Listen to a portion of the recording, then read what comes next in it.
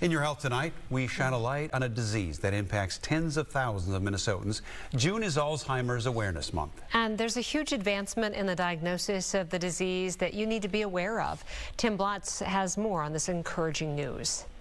Oh my, right?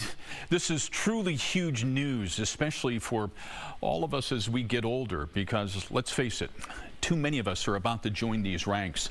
The Alzheimer's Association now estimates that we have 102,000 Minnesotans living with this disease. That's now one out of every 10 people over the age of 65 here in Minnesota. And within the past year, this has now jumped to the fourth leading cause of death here. And with new drugs coming onto the market, getting an early diagnosis has never been more important. But getting that diagnosis has never been easy either. But now, with a new test coming on board, it's about to change everything. Memory has never been my strong suit. Tim Sandry has lived an active life with his wife Ellen and their children. But around the time he turned 67, he knew something wasn't right. We both knew that there was an issue. He saw a neurologist who conducted memory tests and concluded he had what's called mild cognitive impairment. Wanting a definitive diagnosis, he then had a spinal tap. How invasive? How painful? In the morning, they, you know, took the spinal fluid, and then I had to stay very still for the rest of the day. And then they sent me home, and I had a awful headache for the next three days. It confirmed he had Alzheimer's. How much of a difference would a, a blood test made? Oh, oh, it, it, so much difference. It's now a reality.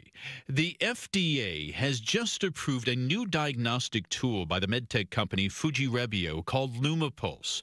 Mayo Clinic is among the first Alzheimer's centers getting this device. It takes a small sample of blood and measures the amyloid and tau proteins that may be present in the brain. And it, um, it generates the ratio between those two proteins, and an elevated ratio then is indicative to the presence of those changes associated with Alzheimer's disease. How important is this new blood test? By having this blood test, we are able to diagnose more accurately and also more accessibly, you know, to individuals. Current clinical, cognitive, and imaging assessments can correctly diagnose Alzheimer's in 70 to 75 percent of patients. When you add now a blood biomarker, this uh, this particular test, you increase the accuracy of that Alzheimer's disease diagnosis to 90 95 percent.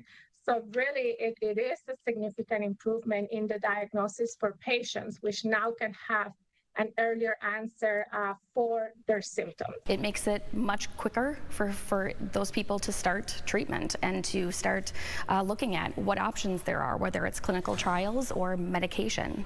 In Tim's case, his early diagnosis allowed him to start taking one of the two FDA approved drugs shown to slow the progression of the disease.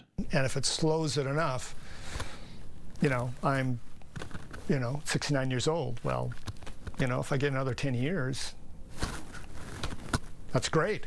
Now, it's important to know that this new blood test is only for those who are already experiencing cognitive decline, but it's still huge. And Mayo Clinic says that once they start ramping up, they'll be able to test between 1,000 to 5,000 patients a month.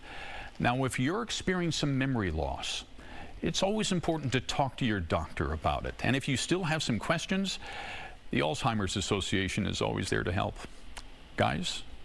This is so encouraging. It and is, and really important because as Tim points out, the number of just in Minnesota, more than 100,000 people who currently are diagnosed with yeah. Alzheimer's. And and all those research dollars that come mm -hmm. from fundraising. So every time you hear of a gala or something like that, and you think it's the millions of dollars in fundraising that goes into a lot of this research. And the Mayo, we're lucky to have the Mayo right, right here. Right, right in our backyard. Coming up.